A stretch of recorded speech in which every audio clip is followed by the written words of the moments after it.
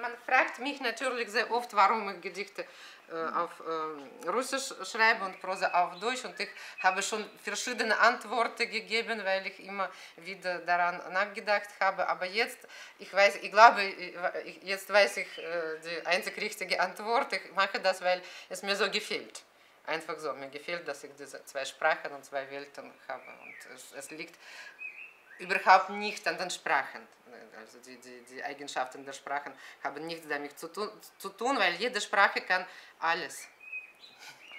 Ich war äh, 28, als wir nach Deutschland gekommen waren und äh, da ist ja, da ist man schon sehr erwachsen.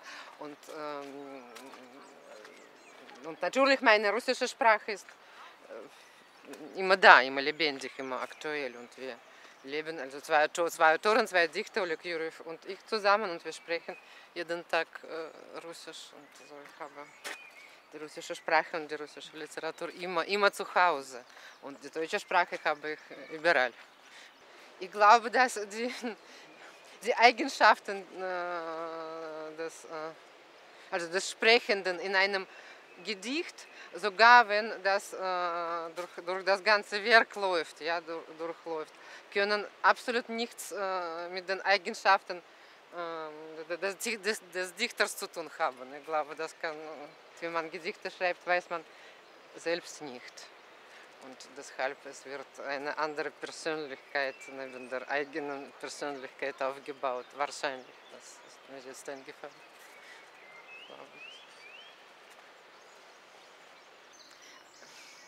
Als, als, als Mensch liebe ich Musik. Und Musik ist für mich sehr wichtig und ich höre oft etwas und äh, einerseits. Andererseits, wenn ich Gedichte schreibe, dann stört das. Oder wenn ich etwas, überhaupt etwas Längeres schreibe, dann äh, höre ich monatelang keine Musik, weil das, das stört mich tatsächlich, weil äh, die Klänge, die man fürs Schreiben braucht, kommen aus einer anderen Quelle. Und äh, in, insofern ich, ich eher äh, Vogelgesang hier als, als tatsächlich Musik. Und äh, ich, ich, ich, vermisse auch das, das, das, das Musik hören, wenn ich äh, längere Zeit etwas schreibe und mich darauf konzentriere und keine Musik höre. Wenn äh, etwas mich, ich glaube, kann das eigentlich mit Sicherheit nicht, sagen, aber ich glaube, dass wenn etwas aus der anderen Kunst mich beeinflusst und dann ähm, in, in, in dem, was ich schreibe, spiegelt, dann ist das äh, Malerei und Zeichnung.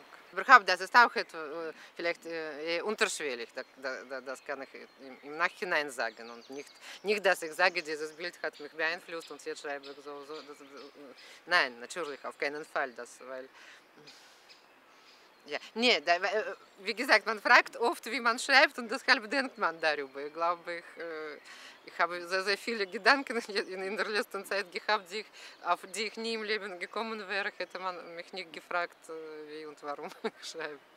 Das ist immer, ich glaube, nur durch Zufälle entsteht das Werk überhaupt. Ich glaube, es wäre unmöglich, einen Plan im Kopf zu haben und dann etwas zu schreiben. Für mich wäre das unmöglich. Ich warte eigentlich für das eigentliche Schreiben besteht für mich zuerst der, der erste Schritt. Ich warte auf ein paar schöne Zufälle und dann sehe ich was, ob, ob und was ich mit ihnen machen kann.